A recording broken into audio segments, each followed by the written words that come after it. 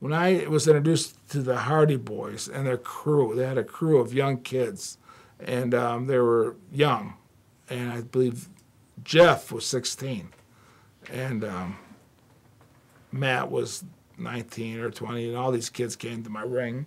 And of course, I have releases and stuff like this to have them sign and give them in the ring. And and I and before all my shows, we'd have a class, we have a training session, and these kids couldn't lock up. I, mean, I said, "Geez, I can't use this." But then again, they turn around and they could do a triple flip off the top rope. I said, "Well, I could blend this." And again, people were, you know, it's you know, enthused or eccentric, whatever the word is I'm trying to think of, um, amazed that the, this is happening. Wow, man, this is freaking awesome how this is happening because they don't really see it. I mean, the biggest things were the kabukis and, you know, the things that the high flying cross bodies and stuff like this. But for someone to do a triple gainer and a flip and come off the top rope or ladders and stuff like this, but when you're weighing 140 pounds, 150 pounds, and you're not you're not 300 pounds landing on this ring, it's a little different. But these kids could not lock up. They couldn't do a headlock takeover. They could do a high spot. All the basics that you you want to do in a ring, these kids couldn't do. I, I got I got the credibility to bring the talent to New York. I got the credibility to show the talent to New York. So and all these these young kids, I told them, I said, look, guys, you're going to get paid $150. I'm going to charge you $100 for the bookie fee because the bottom line, there's no, there's no secrets here. The bottom line, I get all the heat. I mean, when, when I say heat, it's like when I take you up there and they don't like you, they're not going to come to you and say you, you stink or you're, you're the bad guy or you're, you suck or whatever. They're to come to me. They pull me to the side what the heck you bringing this freaking freaking batch of guys? They're too small. They're terrible. They can't work. They can't wrestle. They can't do anything.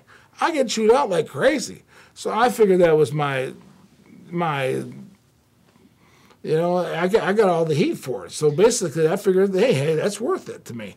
but this was you weren't you weren't the first person to do this, right? Because even in Crockett or Georgia, there was usually somebody that would collect oh, yeah, guys yeah, that yeah, yeah. just needed. Yeah, and they would pay a fee. Mm-hmm. It was, it's, not a new thing. It's not a new thing. So, so what? Check it out, man. I, it's kind of funny because I would run a, I'd run a van.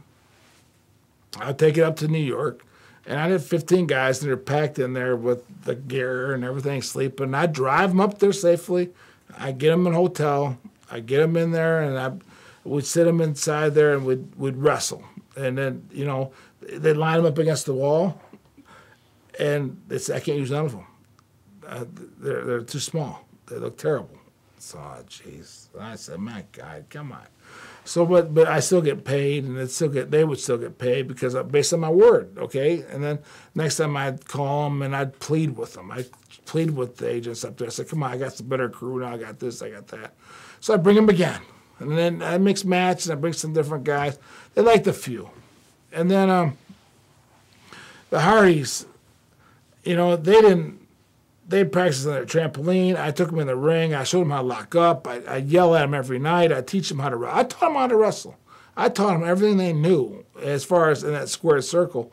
And and it really kind of bothers me that they have the audacity to even talk bad about me and then turn around and say thank you because they would have made it without me.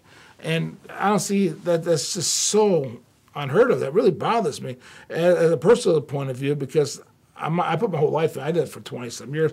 And these kids, you know, what they, they did in their backyard on a trampoline.